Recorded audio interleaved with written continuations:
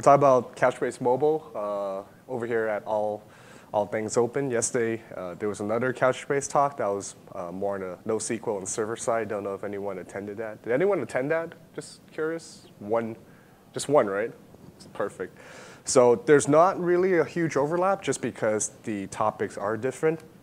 Uh, my name is William. I am a mobile engineer, mobile developer advocate at Couchbase. Uh, company's based in Mountain View. I'm actually based in New York. Uh, my background is I'm an electrical engineer.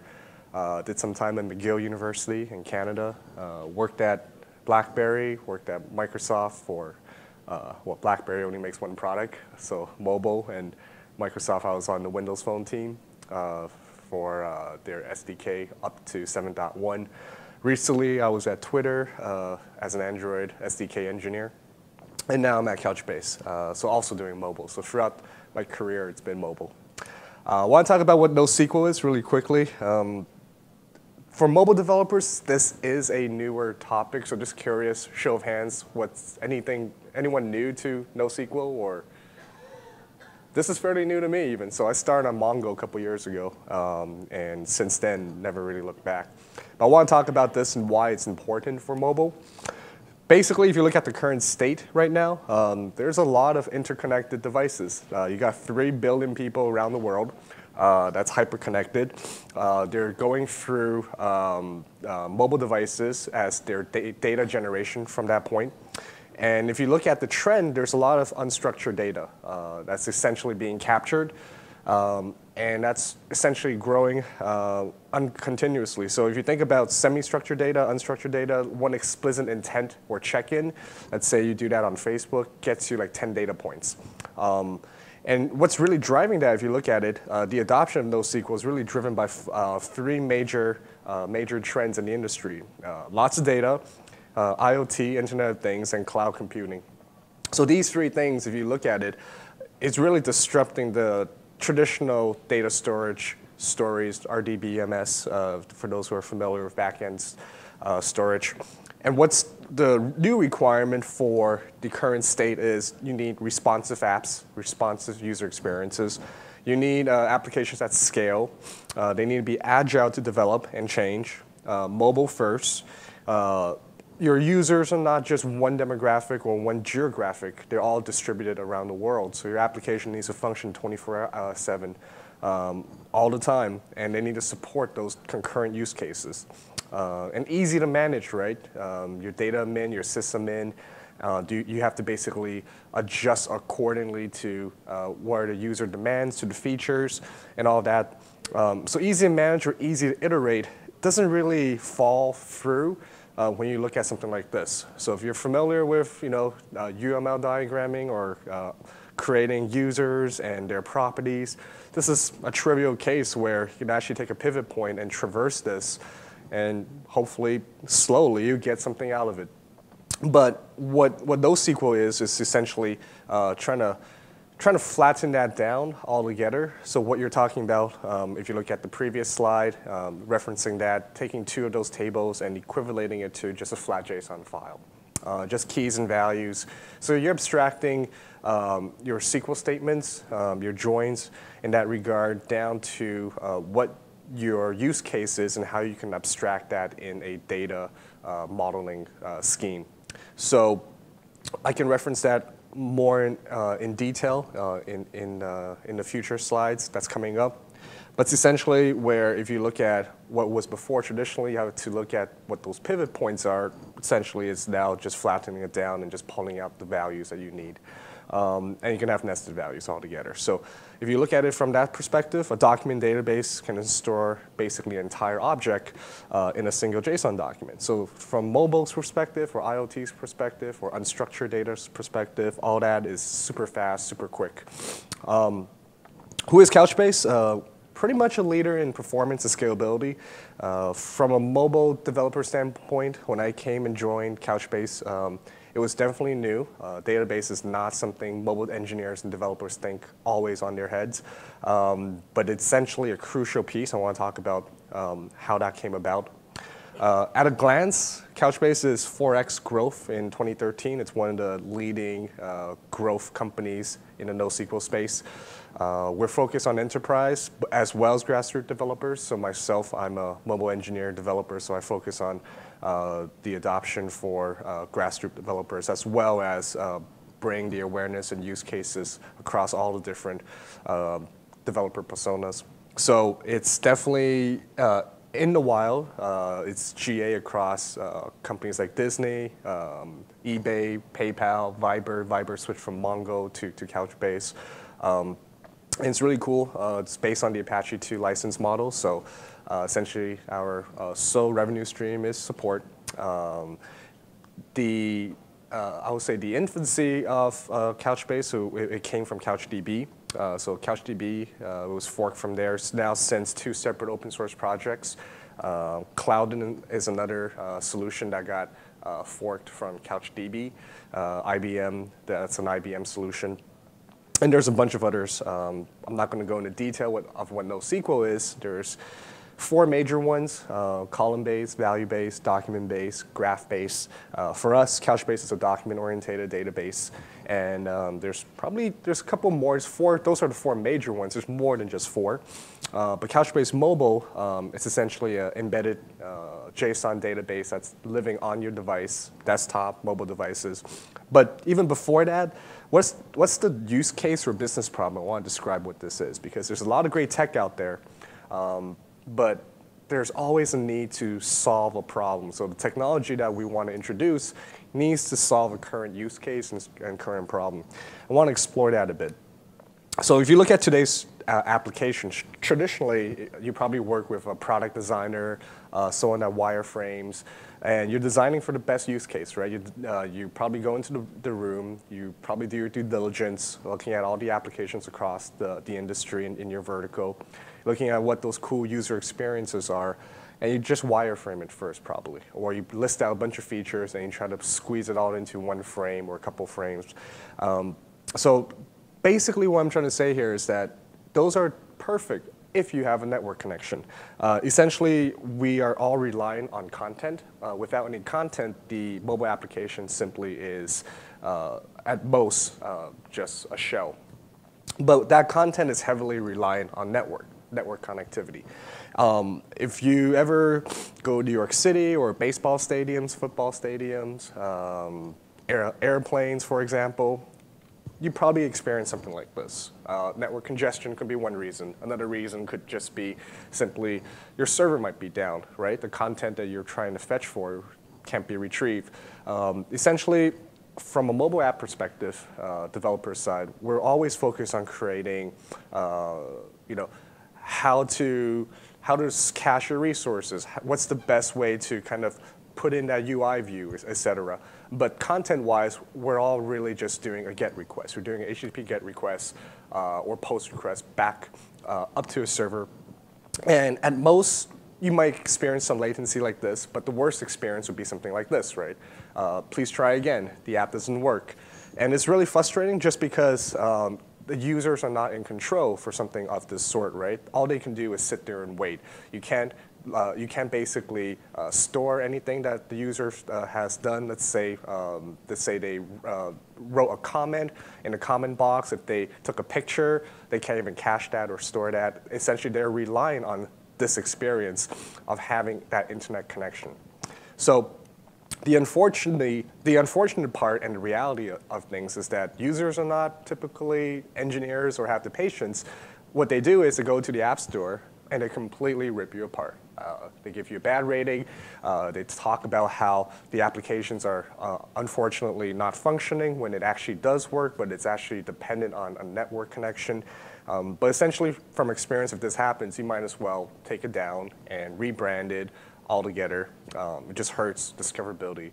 But if you look at a graph of what this problem is, uh, those three major areas of contribution, why something of this sort um, is, um, why people complain about your application. If you look at it from the App Store's perspective, is related to uh, app freezing, app crashing, and slow responsiveness. So all of these things are something as a designer, app designer, um, engineer, you can kind of attribute for. These are all common things that's related to the app basically not dealing with uh, a connection or uh, not having a connection. If you look at the problem of this space, it's actually very simple. It's the data location. That's where the problem is, right? The location somewhere else in a third-party server, uh, you have no control of it. You don't probably don't even have a local copy of it, and you're just needing to do that fetch for it. Um, it's unfortunate because let's say the person sitting next to you even has that particular file. You can't even just you know USB transfer it back in the days, or just poke the person, transfer. You have to go up the wire and back down again.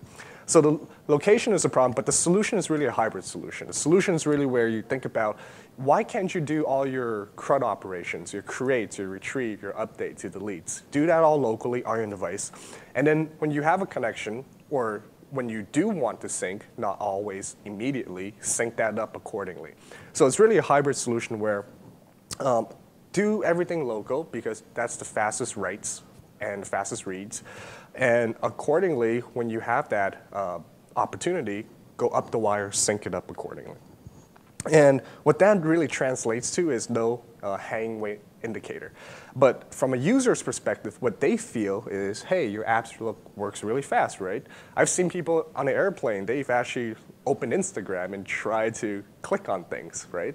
Their, um, um, their mindset is not based on network connection. There's like, oh, I have a bar. A bar means I'm connected. It's not like that. Uh, your apps supposedly work really, really fast. Let's say a 20, 35 megabyte, let's say HD picture. If you, they press send, everything goes through. Well, from their perspective, it's, it's actually just written to a local database. It's fast from a user's perspective. Um, less code, I think that's a technical engineering depth that everyone appreciates.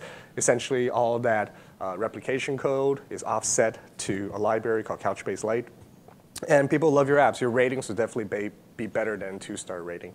So this is some of the uh, high-level issues I think we immediately resolve. The, the problem with uh, not having connection, the problem with not having connection and not having connection means not having experience.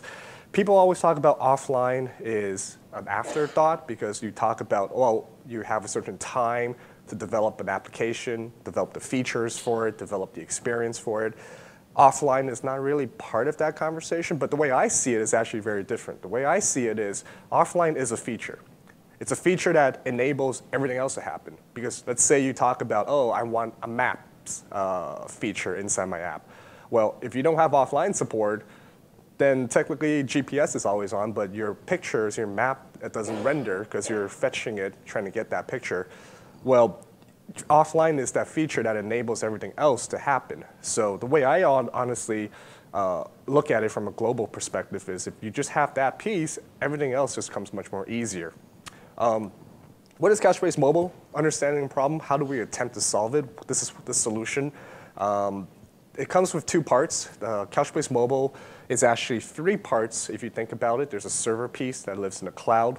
Um, that's not somewhat related to mobile, um, the mobile focus. That's something where once the, the local stuff is done, you basically push it up to a Couchbase server, which was yesterday's talk.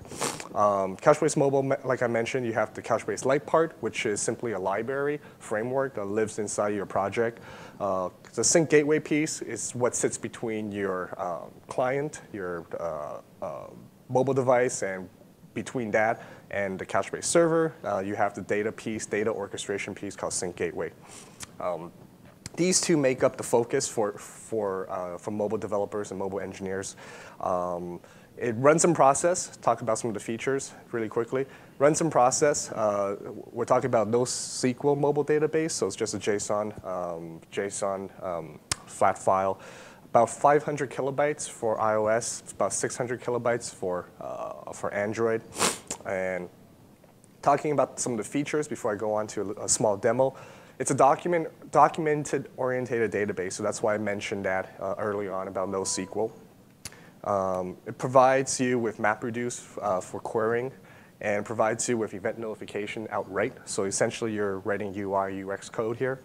And one of the coolest parts, when uh, the feature I think is the crown jewel of it all, is sync, uh, or engineering terms is master-master replication. There's no concept of uh, primary, secondary, or slave or master. You eventually have consistency across all your client devices. So I'll show that also in the demo. Um, the document-oriented database part, we're talking about keys and values uh, that incorporates uh, versioning. So for us, and anytime you do a CRUD operation, we keep a revision history of that. Um, it's schemaless, so um, hence we talked about JSON and, and uh, keys and values. And because of that, you can code fast, right? If things change, a particular property changes on a particular user, introduce something, take something out, it's really easy. So for example, like over here, uh, I don't have to think, oh, which table does it belong with? Oh, if it belongs to that table, do I have to make that pivot and then that join? Uh, essentially, yeah, if I have a particular room now in this, uh, it's wrong X actually. It's actually 306A, right? I can just go in and change that. I can introduce another property. I can have nested property. Um, I living, I'm living in New York. I'm previously living in Montreal, but I actually lived in Seattle too. So I can just go in there and put another location. So you can have nested um, nested values as well. And this, this entire thing is your object, right? So I can basically query for type. If type is session underscore 01, I can retrieve my entire object there, all that uh, session property. If it's not, try to find out uh, what, it, what am I looking for, or just pass on instead of doing all the uh, operations like the SQL operation. So it's really fast. Um, how you, we do our queries, uh, we can talk about this in detail, but basically you're basically, uh, excuse me, basically you're building your index using MapReduce. Um, and from then, if your index will change accordingly, you can rebuild it again. Um, but results are basically persisted for fast querying now. Once you build it, it's really fast for you to retrieve anything you're, you're looking for. And um, it's also cool because you don't have to go to another application. It's only setting breakpoints in your IDE. Uh, change notifications, this is really neat. Uh, you can basically listen and observe for changes in, in multiple areas in your database level, in your query level. Uh, you can do it even down, in, down to your document level. And it cuts down uh, a lot of code cuts down a lot of cruft code because essentially what you're doing is you're, you're listening for these callbacks uh, and essentially if something changes accordingly, you can render it on your UI thread and uh, you don't have to always be pulling. Uh, of course you can, there is that option, but this is something where you can also save a lot of resource. And sync, the crown jewel of it all, when we talk about sync, we talk about master-master replication. Uh, this also deals with conflict, so you can also do continuous syncing or ad hoc sync. Ad hoc sync means uh, you can attach this to a particular intent. So let's say on app, on app exit, you can push all your data that's local to your device to the cloud. On app start, you can do a pull of it. Um, or for example, if there's a change accordingly, uh, you can particular pick an instance of it or a time uh, to do all that syncing. Or you can do it like, like a chat application that's continuously uh, listening and open. Where is this available? Um, it even works on BlackBerry. so uh, CocoaPods if you're an iOS developer, Maven Central if you're doing Android, NuGet if you're doing uh, .NET. Uh, we support four .NET runtime. That's Mono, Xamarin, uh, Microsoft .NET. Um, can't remember the next one. I'll, I'll, I'll, I'll remember, it'll pop in. Uh, and of course, we're at all things open, so if you really want to build from source, the complete stack is on GitHub. Uh, we actually have community pull requests that comes in, and we, re we uh, review that as well. Oh, the fourth one is, uh, is Unity. So um, yeah, it's, it's across the stack. Uh, there's also this particular feature. Um, PouchDB. So if you're not familiar, it's an open source JavaScript uh, database that's inspired by Pouchy, uh, CouchDB. Uh, that's designed basically run within the browser. Uh, they basically fork the sync gateway piece that does the syncing. So essentially, PouchDB is our uh, somewhat uh, of a JavaScript solution that would sync up according to a Couchbase platform on the Couchbase uh, server side, um, there's pretty much all of different flavors you can think of or choose from. Um, so this is outside mobile. Of course, I put, put some mobile in there. Uh, you have different frameworks, all different language supports on the server side. Um, different platforms um, and inf- infrastructures. Um, based on that, you can basically run a lot of the, the cool analytics, right? You've probably seen some of the talks here. So even though mobile, you front end ended with a mobile solution that does offline databases, on the back end, uh, it's no um, it's no um, it's no joke. Also, it's uh, it's a technology that's been proven and used by industry leaders like Apple, eBay, PayPal.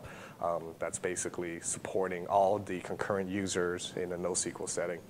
Uh, I want to talk about Sync Gateway as well here. What is Sync Gateway? It's the piece that does your uh, authentication or authorization.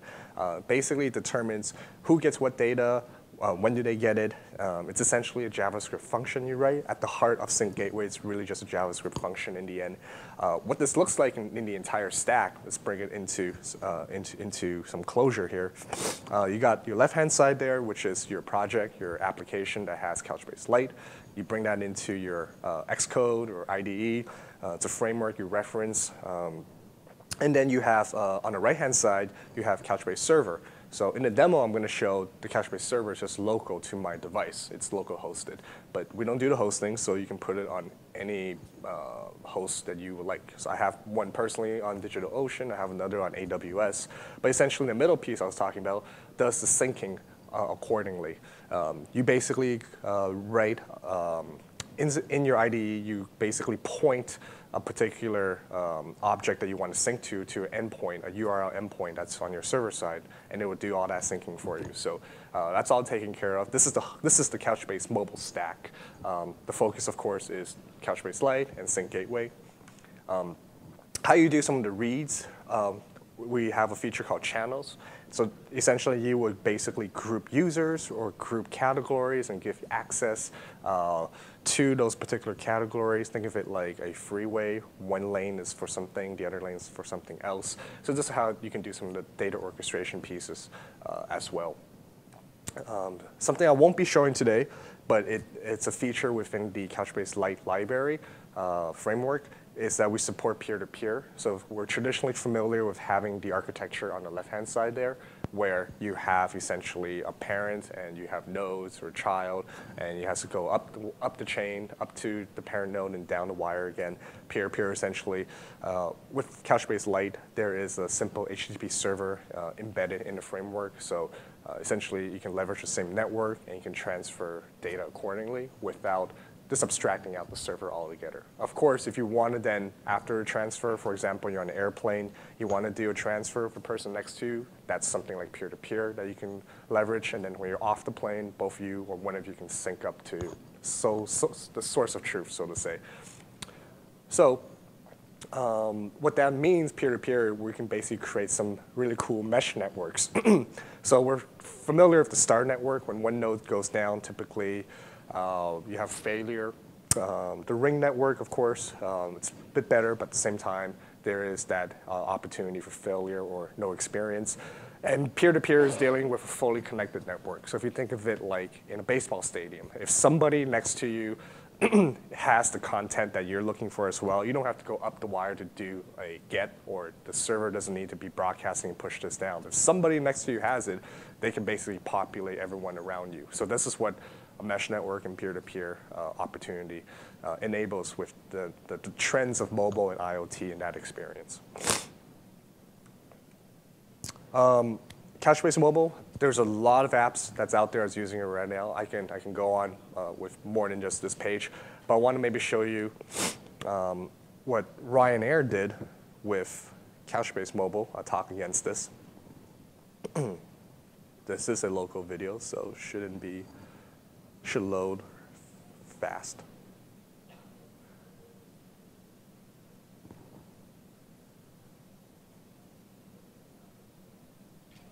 I see the spinner on my screen.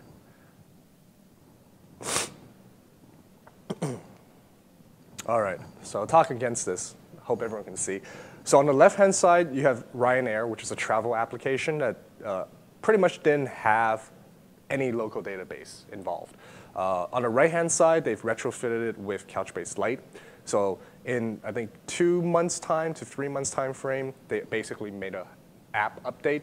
And you can see how um, the bottom line there is this transition piece um, on how based on uh, time series where they are in their application process or progress. Uh, so Ryanair basically have Couchbase Lite here. This is not even going up the wire to sync. And you can see how slow the left-hand side is and how quick on the right-hand side uh, with basic like image uh, already cached and already data points persisted locally, they can just pull that up um, accordingly versus on the left-hand side, they're basically going up the wire to basically get all the data information like, for example, you see uh, the plane status, right? Like the prices, the location. And at the same time, um, on the right-hand side, at the same time, uh, they're already entering, I think, uh, trying to order the, the, plane ticket, trying to put in user information. So uh, what's really neat is also you can see immediate user feedback. I think in their app store, um, people were, talk, were saying, wow, your app really improved. Like it's, it, it's not like that before. Uh, and this is actually very simple. For them, they just retrofitted with a local database. Um, and you can see the, the, the, poor experience they have before. And if, let's say, their app crashes or they exit the application, none of that data point is persisted. They have to start over again. Versus on the right-hand side, uh, let's say what you search for, your seat selection, the images off those seats, those are all locally persisted. So you just have to read it off your, your device. Um, for them, that's what they do. Of course, as an app developer, you decide what you want to store or, or save uh, locally. Um, so that's Ryanair um, Couchbase Mobile and NoSQL, really what's the, what's the big picture? What's the opportunity? It's essentially if you look at where NoSQL is, for not even just Couchbase, but uh, across the industry, uh, this is being adopted only because it is uh, the trend. It is basically going to provide value in terms of speed, um, in terms of uh, user experience, and of course, mobile is a huge driver of that because content's being generated uh, from mobile, right? So in summary, why open source? You get more choices, more flexibility, uh, developing it faster. Uh, it's great when I see uh, the community contributing back to the project uh, with PR, uh, pull requests, and also helping us with bug fixes. Uh, why NoSQL, like I mentioned, it's definitely flexible in, in, your data model sense. Uh, if you think about structured data and unstructured data, scaling out that architecture, especially from a mobile setting when things change so fast and those features are always rolling, you just have that opportunity to go in and change uh, and, and modify that accordingly. Uh, why Couchbase? Well, performance, availability, scalability, ease of use. These are uh, some of the things that we uh, really uh, believe on and actually reiterate on heavily, uh, mobile and server. So those are some of the reasons in summary. Some of the next steps here, uh, you could definitely uh, take down some information. So documentation, I recommend looking. The Mini Hack is something I contribute. It's actually a GitHub project. you get basically in 30 minutes to 45 minutes, really good deep dive on how to integrate all of this stuff on your own. So it's kind of like a tutorial. And uh, the, the, developer forums is another piece uh, that I live heavily on. I'm going to put all of this stuff in a tweet afterwards, including the slides. So I'll do that from my, um, my Twitter. If you want to follow, I can definitely post that um, probably end of day. And um, yeah, open for questions. And I'm going to show a quick demo as well. So um, yeah, my name is Will if you want to take that down. I don't know how much time I have. I think I have a bit of time to show a quick demo. So what happens, what's, what's happening here is that I got a Couchbase server uh, spinned up locally.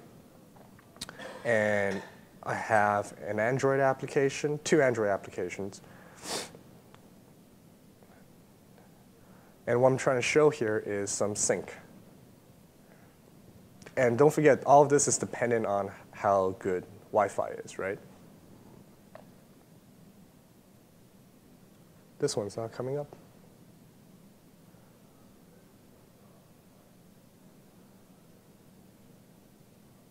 Let's try one more time.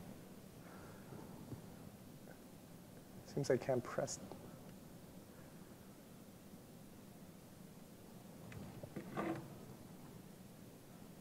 Okay.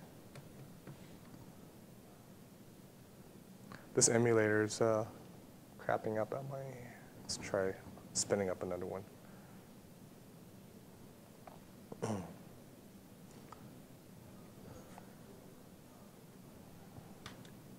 So this is, the left-hand one is a stock emulator. This one I'm using Genymotion, uh, which is a paid emulator, a lot faster. All right, cool. So let's see if this is working. If I untoggle this, this is locally persisted. You see it sync on the other side. All that syncing code is done by Couchbase Mobile across the stack. Uh, if I delete, I'm not, I don't want to delete all things open. I'm, I'm still here.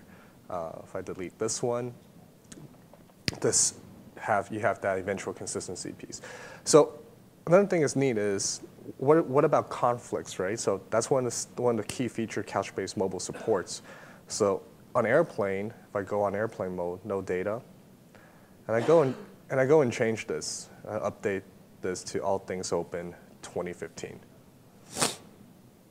But don't forget, this one's offline, right? So this one's just locally persisted. Um, for example, if you kill this off, open it again, you see it just reads.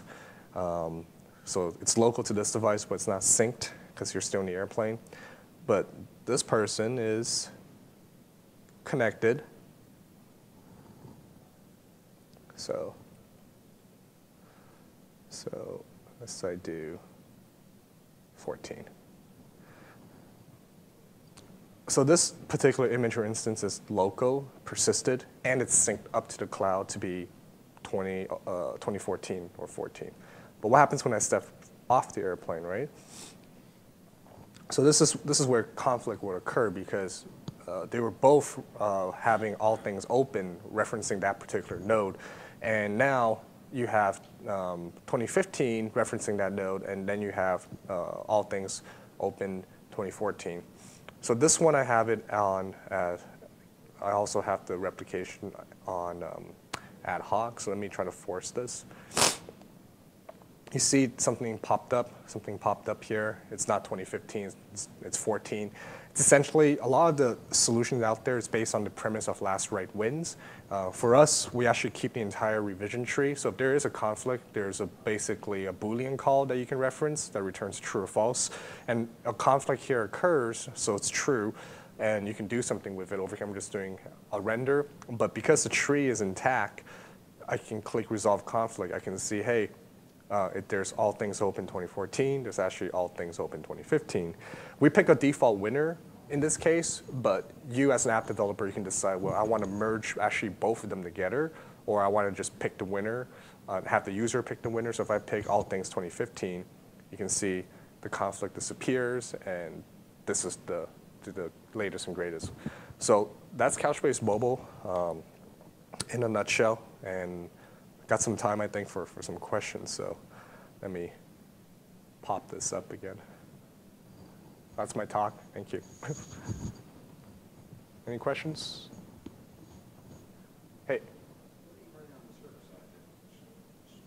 What do you, the question is, what do you run on the server side?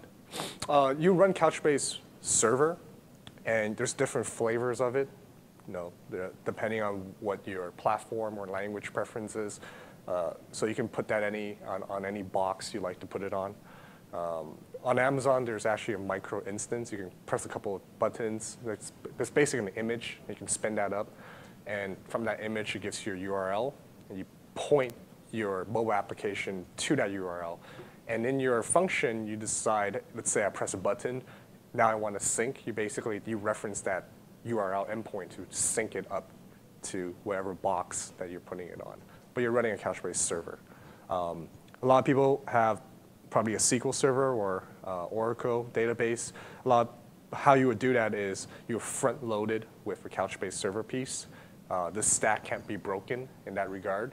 So you still get that sync piece using the Couchbase server, the, the sync gateway, and what's in your embedded device. But your, maybe your source of truth is in your RDBMS server, and that would be simply like a cache and then you basically write mappers to it and then pull and push from uh, using REST APIs accordingly. So that's the kind of the stack architecture. Questions, comments, feedback, love, tweets? Well, I'm, I'm going to be around, so um, yeah, happy to answer any questions. Cool. Thank you.